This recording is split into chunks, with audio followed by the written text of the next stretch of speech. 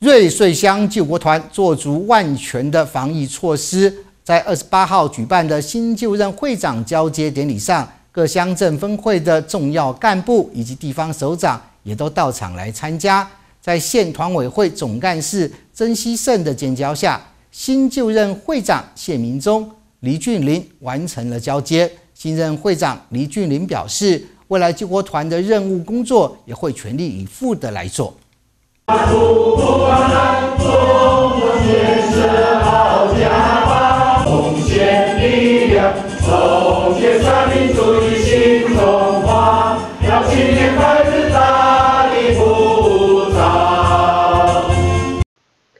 唱完了救国团团歌后，在县团委会总干事郑其胜的监教下，瑞穗乡救国团新就任会长谢明忠、李俊林完成了硬性交接。各乡镇分会重要干部以及地方首长代表也都到场庆贺祝福。来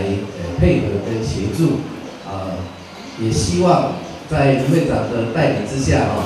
呃，我们瑞穗救国团的会务呃可以蒸蒸日上啊。这个好的一个团体能够延续下去。呃，两年的辛苦啊，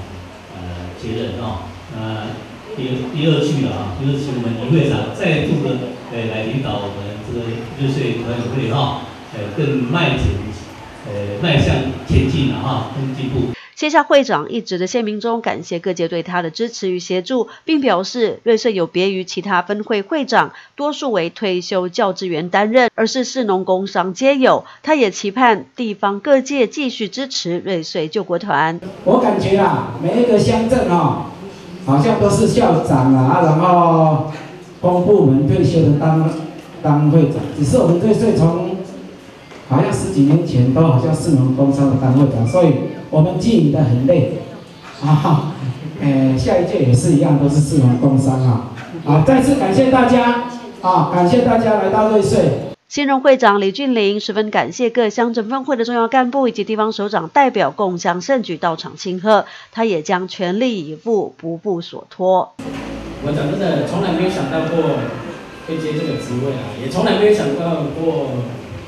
会做到会场，因为从来都是老二咨询。但是既然做了，嗯，我的意思就是，既然要做就做，也不要说那么多，啊，也感谢大家与会的会贵宾。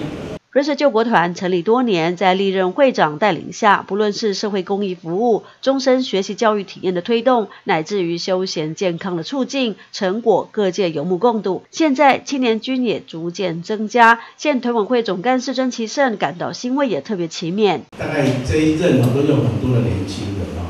包括在花莲市，还有在新城乡，啊，但是不是说老的不好，而是因为毕竟老的也要传承，新的要上来，啊，所以在现款部分，已经也看到这种趋势，所以县团就希望说我们的。